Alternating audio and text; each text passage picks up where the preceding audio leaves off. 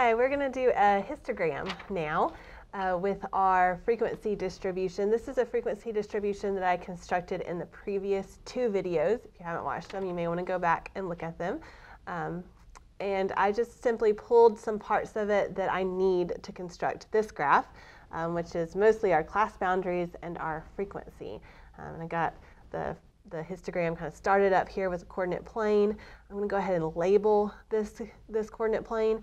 Um, a histogram is a bar graph, um, but it's a special type of bar graph in that it has to have vertical bars, never horizontal, and the bars touch. Okay, These are pennies, and they, this is their years of their pennies um, that we collected, um, 40 pennies. And so I'm going to label the horizontal axis with the years because that's where I'm going to put my class boundaries. And then I will label the vertical axis is the frequency because the height of the bar represents, represents the frequency of the class. Okay. So I'll label my class boundaries across here. Um, a histogram, once again, the bars touch. So your class boundaries are what you're using um, so that you don't have any space between bars. So my first bar is going to begin at 65.5, it's going to end at 70.5, and then that's where my next bar will begin. So get this labeled. Class boundaries, all the class boundaries. And that's why we need class boundaries, is for our histogram labeling it like this. Okay, so we're just going to construct a vertical bar graph at this point. Um, I'm counting by twos right here, so I'll label this as two. I'll go ahead and label them all. Okay, so we can see that.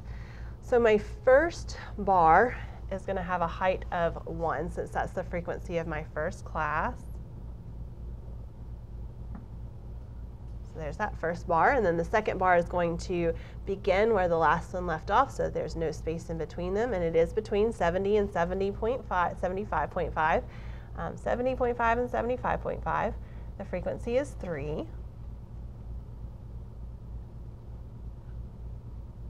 So there's that bar up to 3. The next one is 4. That bar up to 4. The next one is also 4. Then we have six.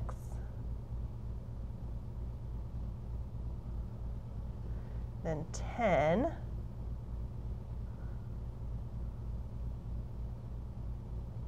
And finally 12 for our last class. Okay, there's our histogram for this frequency distribution. Histogram's nice, you can see the shape of the graph um, and start analyzing the data and talking about it a little more.